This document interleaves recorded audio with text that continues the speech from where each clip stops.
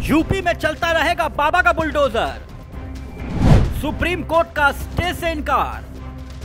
दंगेबाजों और पत्थरबाजों के आकाओं को लगा सदमा। देवबंद और जिमाते उलमे हिंद के खेमों में मातम। तो चलता रहेगा दंगाइयों पर बाबा का बुलडोजर। जी, कोर्ट के इस निर्देश के बाद चर्चाएँ आम हैं। वो लोग जो 17 जून यानी कि शुक्रवार यानी जुम्मे के दिन एक बार फिर से पत्थरबाजी का प्लान बना रहे थे। अब वो घरों की छत से पत्थरों को उठाकर शहर के बाहर वापस गड्ढों और खाइयों में फेंक रहे हैं, क्योंकि बुलडोजर पर रोक की उम्मीद लगाने वालों को कोर्ट ने झटका दे दिया। कानपुर में हुई हिंसा के बाद से यूपी में बाबा के बुलडोजर की रफ्तार ऐसी तेज हुई कि अवैध अतिक्रमणकारियों के साथ साथ पत्थरबाजों की नींदें उड़ गई। तभी तो बुलडोजर का खौफ दिल दिमाग में ऐसा समाया कि कोर्ट का दरवाज़ा खटखटाया। तो कोर्ट में ऐसा क्या हुआ? क्या सवाल जवाब हुए? क्या दलील दी गई?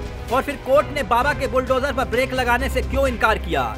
सब बताएँगे आपको। हर सवाल का जवाब आगे आपको मिलेगा। लेकिन सबसे पहले ये जान लीजिए कि जमियत उल्म हिंद की दलील क्या थी?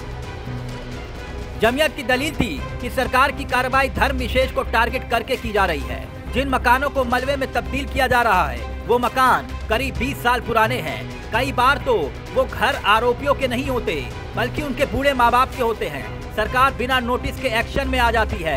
ये कितना जायज़ है।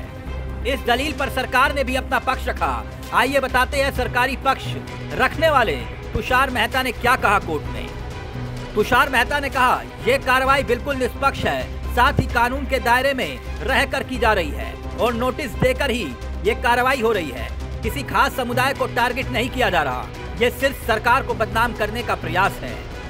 कोर्ट में आगे क्या हुआ, वो बताएँगे। उससे पहले ये जान लीजिए कि बाबा का बुलडोजर इस बार नई चर्चाओं में क्यों है। दरअसल 12 जून को बाबा के बुलडोजर ने प्रयागराज हिंसा के आरोपी के घर को मलबे में तब्दील कर दिया था। ये कार्रवाई जमाते उल में हिंद को नागवार गुजरी, जिसके बाद कोर्ट का दरवाज़ा खटखटाया गया और बाबा के बुलडोजर को धर्म विशेष के खिलाफ साजिश का नाम दिया गया। मगर सुप्रीम कोर्ट में क्या हुआ, अब वो भी समझिए। जस्टिस ए एस बोपन्ना और जस्टिस विक्रम नाथ की बेंच ने जमीयताए उल्म हिंद की याचिका पर सुनवाई की और कहा कि तुड़ाई का काम कानून के हिसाब से जारी रहे। यानी ये आदेश जमीयत उलमा हिंद के लिए जख्मों पर नमक रगड़ने के जैसा साबित हुआ। वहीं कोर्ट ने सरकार को नसीहत भी दी। कोर्ट ने कहा कि सरकार इस बात का खास ध्यान रखे कि कोई भी कार्रवाई नियमों को ताक पर रखकर ना की जाए और सरकार से तीन दिनों के अंदर बुलडोजर एक्शन की पूरी जानकारी देने के लिए भी कहा और साफ़ कह दिया कि जो भी एक्शन हो रहे हैं, वो नियम के अनुसार हों। खैर, कोर्ट ने तो साफ़ कर दिया है कि अगर नियमों का पालन किया जा रहा है तो कार्रवाई पर रोक नहीं लगेगी। अब अगली सुनवाई वैसे मंगलवार को होनी है, लेकिन तब तक तुड़ाई का काम जारी रहेगा और बाबा का बुलडोजर यूँ ही गरजता रहेगा।